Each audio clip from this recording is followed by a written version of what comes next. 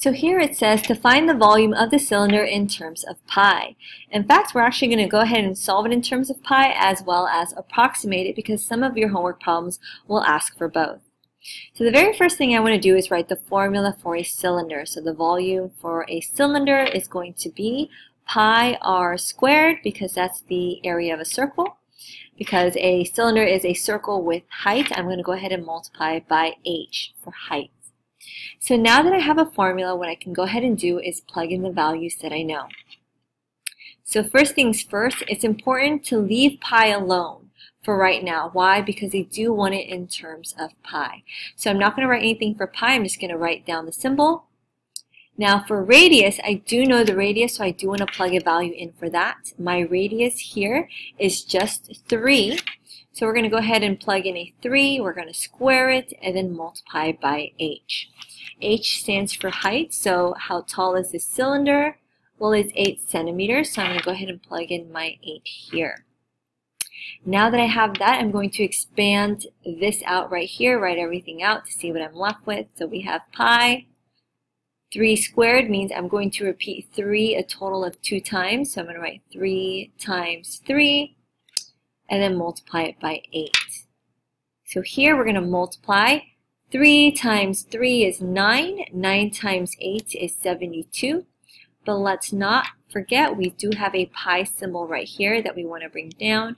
So we're going to go ahead and write 72 pi. And your answer is going to be in centimeters cubed. Now this is my answer in terms of pi. So when they ask you in terms of pi, this is what they're expecting to see. But in some of your homework problems, it will ask you to approximate. Now, if they ask you to approximate, you can do two things. You can use the pi button, or if they specify to use 3.14, you would plug in 3.14.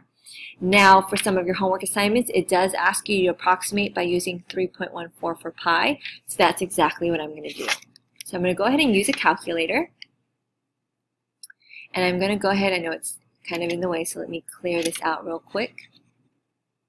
I'm going to go ahead and plug in my 32, sorry, 72, and I'm going to multiply by pi. So in this case, your homework is going to ask you to use 3.14, so I'm going to go ahead and plug that in and see what my answer is. It's 3.14.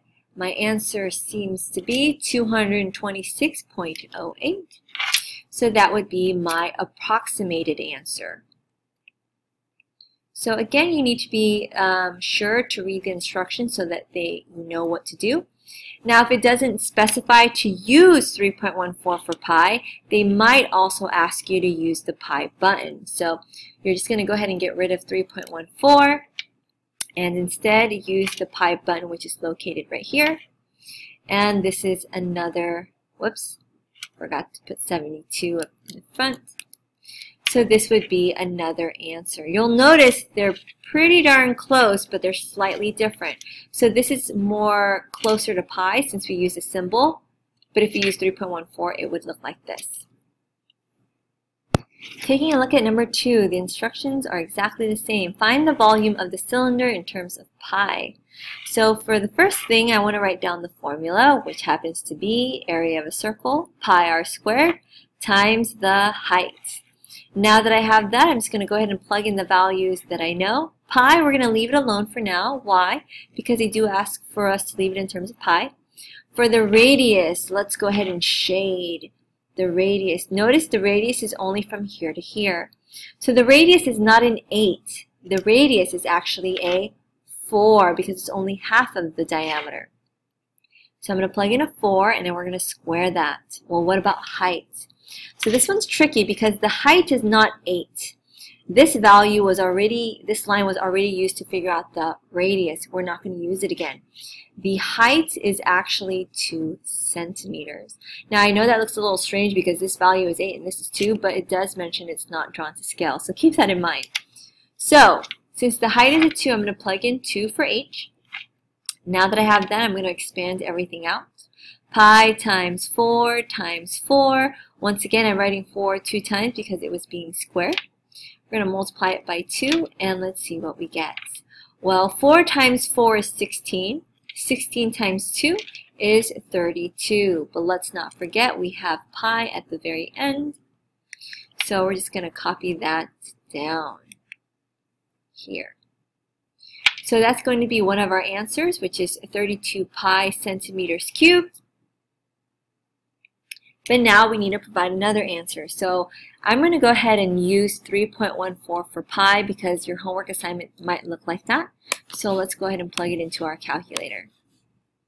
So here I'm going to go ahead and plug in 32 and we're going to multiply it by 3.14. So notice we're using 3.14 as an estimation for pi.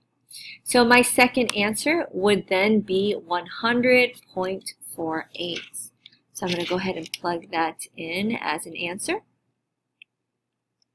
Let's not forget to put centimeters cubed.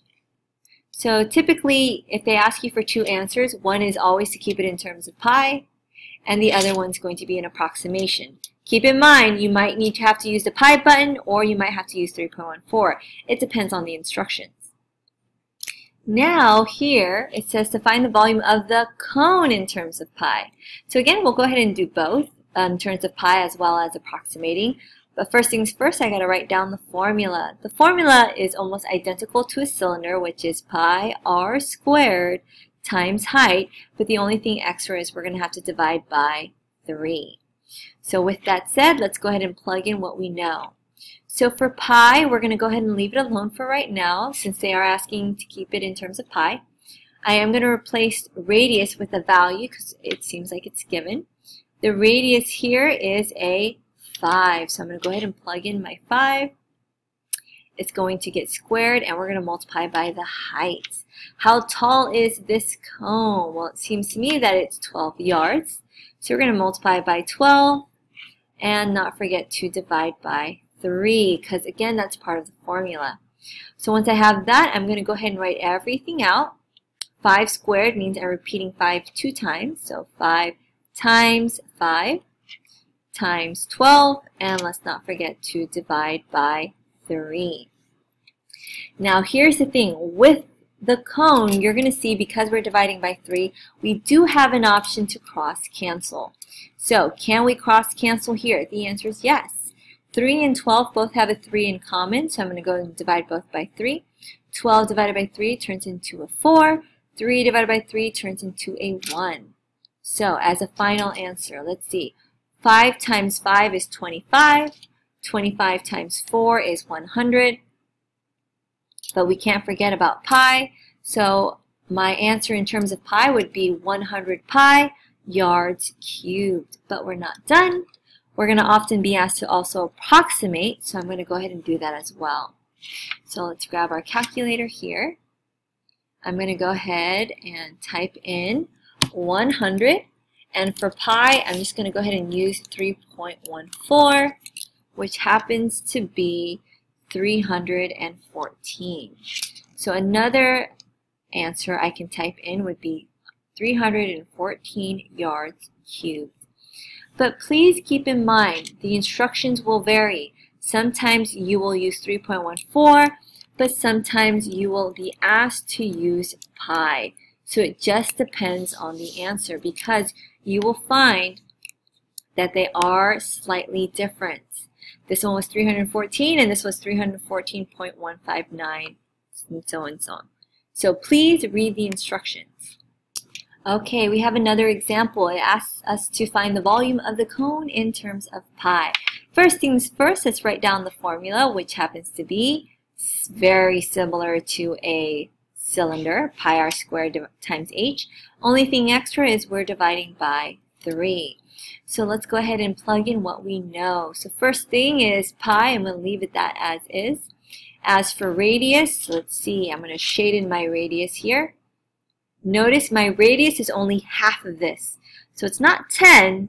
It would be half of it, which ends up being 5. So I'm going to go ahead and write 5. We're going to square that. We're going to multiply it by the height. Now, please don't be deceived. My height is not 10. This line was already used for the radius, so we're not going to use it again. The height is actually a 15. Now, if it helps, you might want to redraw the cone to look like this so that you can see the height is actually 15. So that is an option. So I'm going to go ahead and write 15 as my height, but let's not forget to divide by 3. So now I'm going to go ahead and expand everything out. I'm going to write 5 two times since it's being squared. And then, of course, we need to remember to divide by 3. Now, at this point, you're going to want to check to see if you can cross-cancel. It won't always happen, but if it, it, if it does, you definitely want to do that. I see 3 and 15 have a 3 in common, so 15 divided by 3 is 5. 3 divided by 3 is 1. So what am I left with? I'm left with 5 times 5, which is 25. 25 times 5 is 125. But let's not forget our pi, so it's going to be 125 pi miles cubed. Now, are we done? The answer is no. We also want to approximate, so how would I do that? Well, I'm going to go ahead and use my calculator. I'm going to plug in my 200, 125, and as for pi, sorry, 125, we're going to use 3.14 for pi, which ends up giving us a value of 329 and a half. So that would be my other answer, 329.5 miles cubed. So these are the two types of answers. But once again, it depends. Did they ask you to use 3.14 or did they ask you to use pi? If they asked you to use pi, simply replace 3.14 with your pi symbol, which can be located right here on your calculator. And you're going to see the answers are slightly different, but very similar. So once again, please read the instructions so that you know what to do. Number five, it says find the volume of a sphere with a radius of three units in terms of pi. So first things first, let's write down our formula. We're going to go ahead and write 4 pi r cubed. This is the only one where the radius is cubed instead of squared. And we're going to divide by 3. So with this, I'm just going to go ahead and plug in what I know. We're going to leave 4 alone. We're going to leave pi alone. As for radius, what's my radius? Well, let's shade it in. My radius is just 3. So I'm going to go ahead and plug in my 3. We're going to cube it and then divide by 3.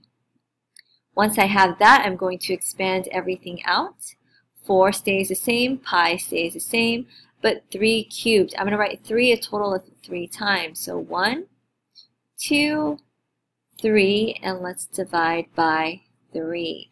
Can I cross cancel? The answer is yes. I can divide both the numerator by 3, so 3 divided by 3 is 1. 3 divided by 3 is 1. So what are we left with? We're left with 4 times 3, which is 12. 12 times 3 is 36. So I have 36, but let's not forget our pi symbol.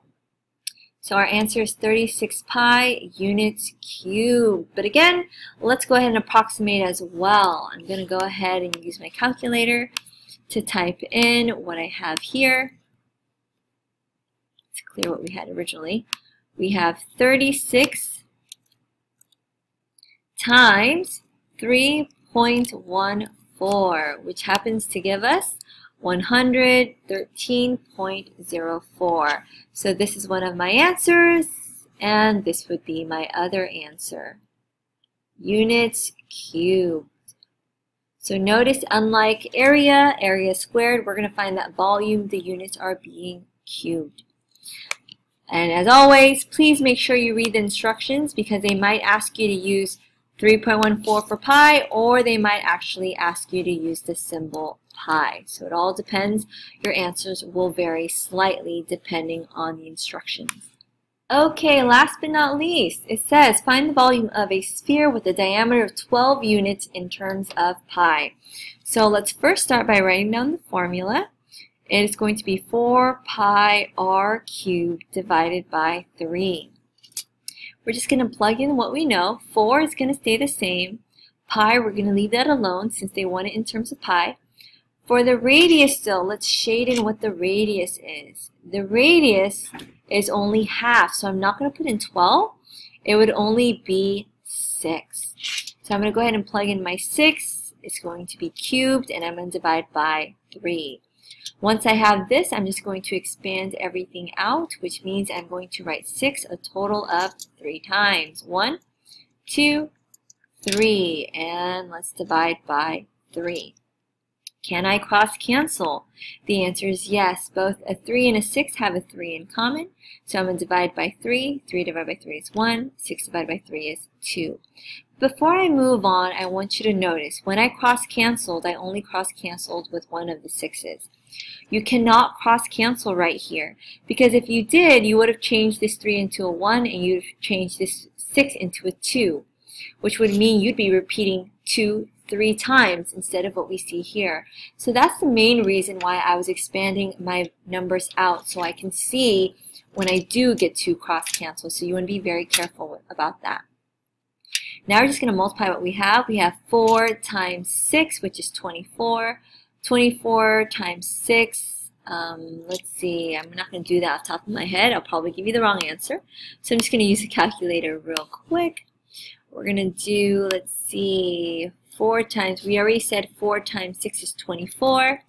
We're going to multiply that by 6, but then we also need to multiply it by 2. So we're going to get a total of 288. So let's write that down. So here, when we multiplied all values together, we got 288.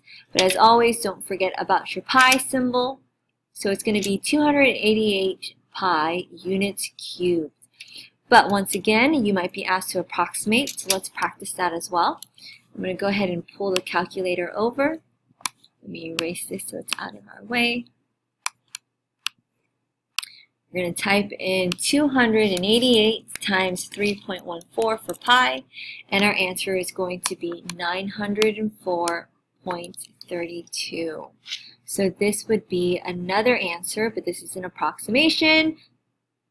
But as always, you need to be careful and read instructions because they might ask you to use 3.14 or they might ask you to use the pi symbol. So in that case, your answer would be slightly different than if you use 3.14. So once again, please read the instructions.